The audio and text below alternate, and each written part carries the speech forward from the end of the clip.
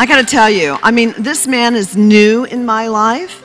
And in the short window of time that I have known him for a couple of months, he is transforming my life. I mean, he just inspired me. And his words and his voice on the phone on my sessions with him was so soothing and so affirming for me that I just I just realized how he was impacting my life. And so I just want you to have just a, I mean, literally a flavor of who this man is is and what he's about. I want to talk to you about accomplishing the impossible. Ken Kragen. Ken Kragen. Ken Kragen is the man behind the careers of Kenny Rogers, Lionel Richie, and many others. Ken has been my manager for over 26 years. He's helped make superstars out of many of the entertainment industry's top talents.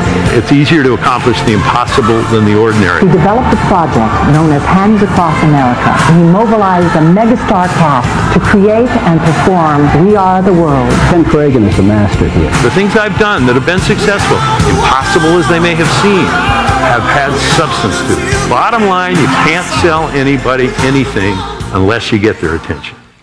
This is Ken Kragen.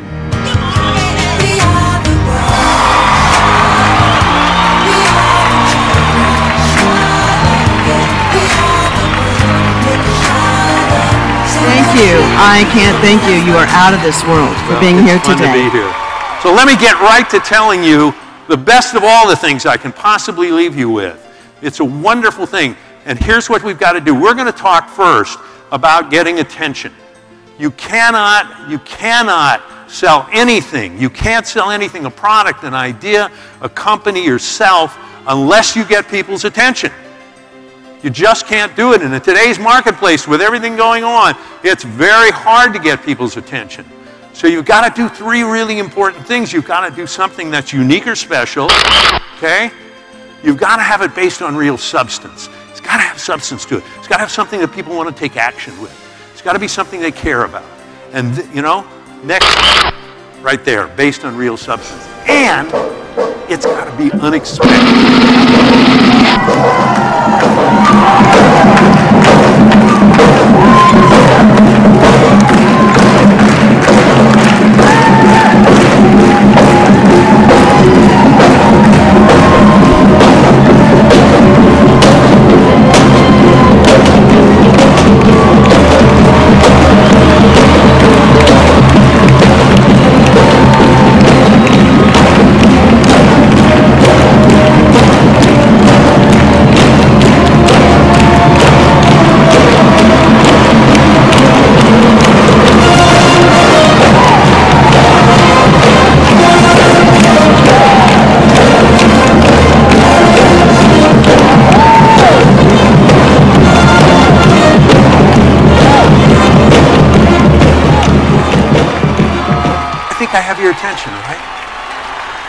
Got your attention.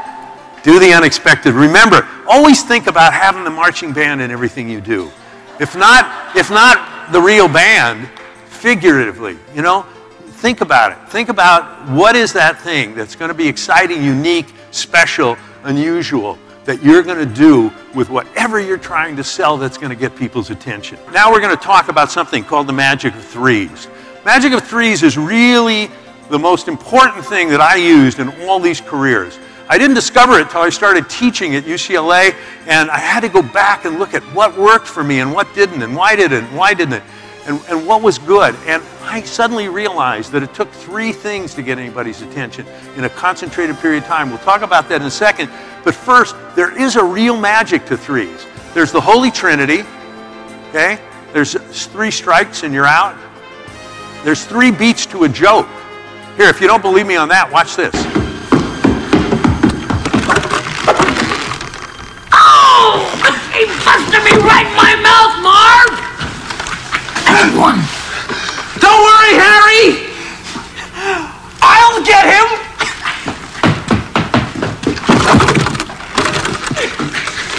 Ow! Right in the schnoz! That's two.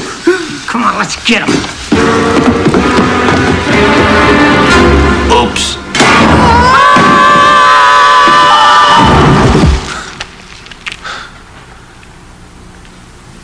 That's three. That's three. Three beats to a joke. There it is in perfect black and white and in a great scene. Let's talk about this, how you use it in business.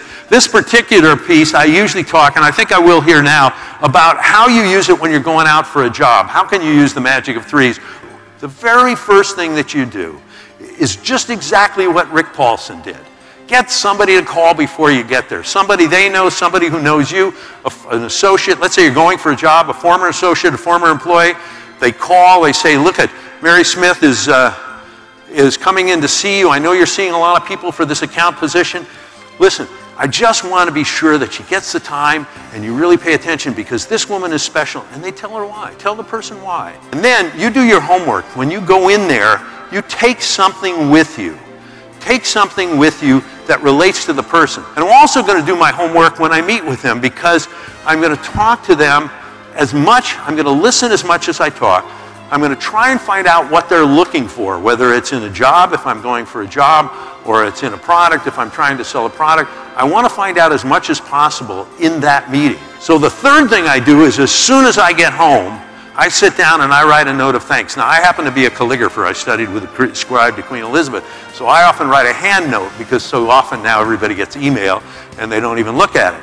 But whether it's an email or a hand written note or whatever, I send something back that not only thanks them for meeting with me, but something that addresses the things that they're looking for and why I fit that, or my product fits that, or my company fits that. Again, the magic of threes before, when I was there, and after. The magic of threes, it really, really, really works. So I target that.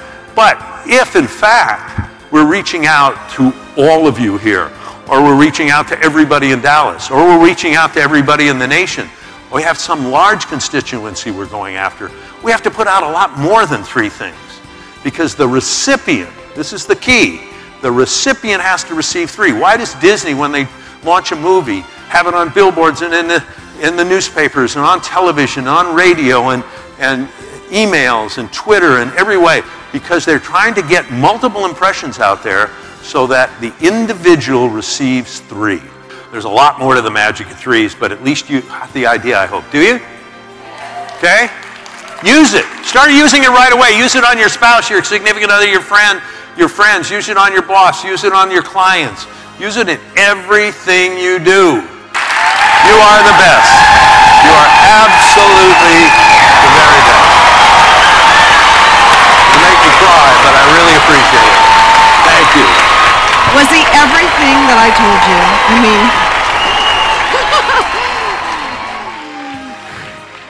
uh, literally just like this around, and I'm sitting next to him. And that's how this whole thing transpired. You never know what shows up when you show up.